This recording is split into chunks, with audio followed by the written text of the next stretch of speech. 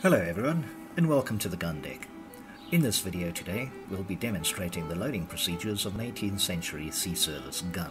We have here the basic tools needed for loading a gun, the worm, the sponge, the ramrod, and here we have a ladle used in the period before felt powder cartridges. This over here is known as the touch hole reamer.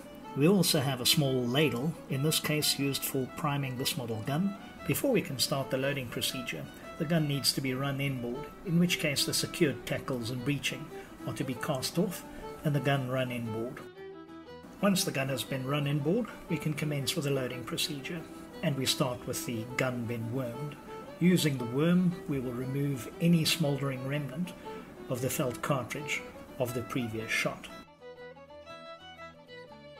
Once the worming is completed, the gun will be sponged or swabbed by using a thoroughly wetted sponge, which will then finally extinguish any smouldering remnants remaining in the gun barrel. The gun is now ready to be loaded, and a pre-made felt powder cartridge will be brought to the gun in a leather powder canister by a powder monkey. This will be inserted into the barrel mouth along with a wadding, which was often a section of hawser tied off and cut into appropriate sections. This would all then be rammed home. You may have noticed me using my thumb to close the vent hole or touch hole during ramming or sponging. This is another means to uh, make sure that any smouldering embers lingering in the barrel will die.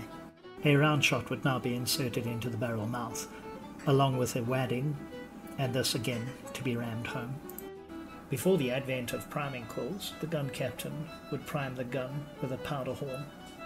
However, during the Napoleonic era, goose quills were prepared and priming powder was inserted into them which made a ready to use priming charge, which was then inserted into the vent or touch hole.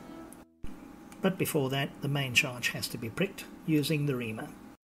The gun is now ready to be primed, and in this case, with a small model, it'll be primed by using fine powder in the small ladle. The gun is now fully loaded and ready to be fired. On the instruction of the gun captain, the gun would be run out. In its run out position, the gun's traverse could be altered by using hand spikes and manhandling the gun in this fashion. Similarly, the gun's elevation would be altered by using hand spikes as well, and then adjusting the elevation quoin once the suitable position has been found. The gun is now fully ready to fire, and the gun captain would discharge the piece with his flintlock mechanism. On the! Fire!